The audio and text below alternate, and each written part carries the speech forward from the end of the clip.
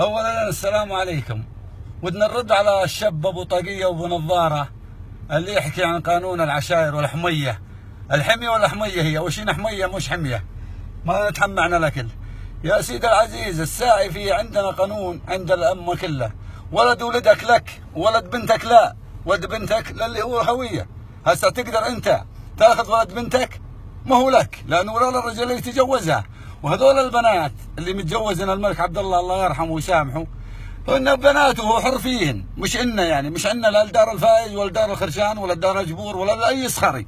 هذول ربوهن موجود وملك وعايش وياهن. وهن تابعات له مش تابعات إنا حنا بنتنا اللي هي تقول إنها العنود عندنا موجودة عندنا.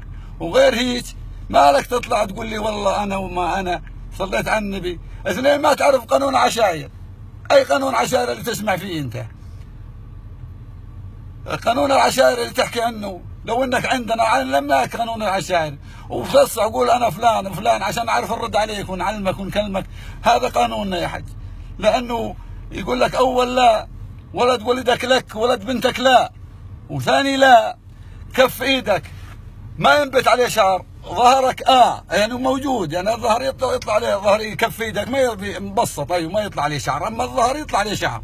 ما هو لنا يا أخي بنات هذول تحكي عنهن لابوهن تابعات لابوهن هن الملك اللي هو الملك عبد الله الله يرحمه. كانوا ساجنهن كانوا ذبحن هذول إلو. ما لنا فيهن حنا. حنا ان بنتنا اللي هي العنود بنت دحام بخيتها.